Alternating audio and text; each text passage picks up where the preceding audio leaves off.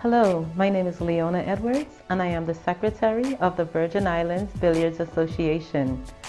Billiards is a sport that's been played here for a very long time. We have players as young as seven, eight years old to players up to 72 years old.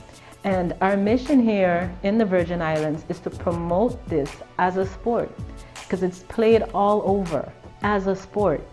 Most people feel that it's a bar game, but there's actual leagues that are played here on St. Croix and on St. Thomas.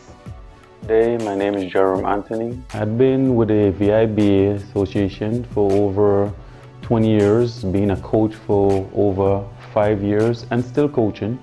Pool is something that I would encourage kids to come out because game that you would come out and enjoy yourself.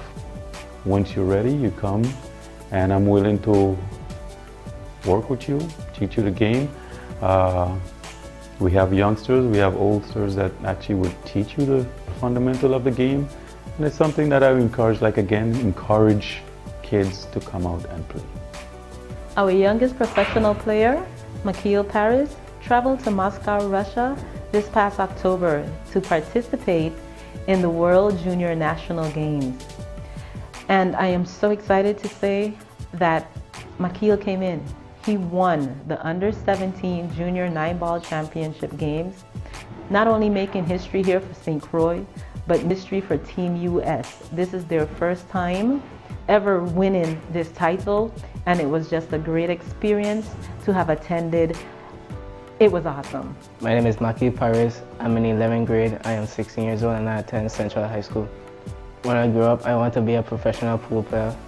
The VIBA helped me a lot because I learned kick shots, curves, jump shots, and I know all my angles. One thing that has stuck by me by my mentor, Claudia Peterson, is that school come first. The one thing I like the most about playing pool is the competition.